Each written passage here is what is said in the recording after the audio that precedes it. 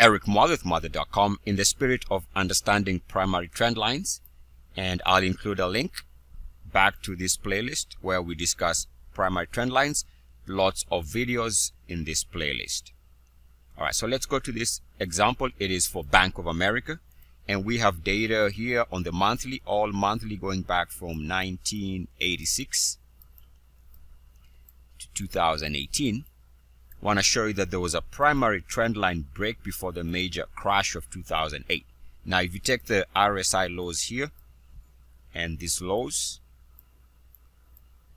you can make a straight line, which is a primary trend line because it connects to all-time RSI lows at the time. And you can see the implications of breaking below this primary trend line.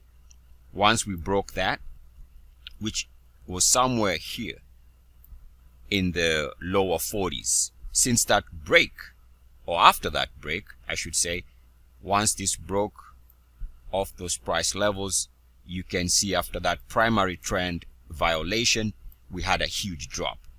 So primary trend lines are very powerful if you understand how to use them, or at least if you understand the implications of breaking above or below primary trend lines. Take a look. Again, I'll provide a link in the description of the video, bring you back to this idea, which is my own original concept. Eric with Muathe.com. As always, good luck, peace, and blessings. E, a C, S. Woo, yeah.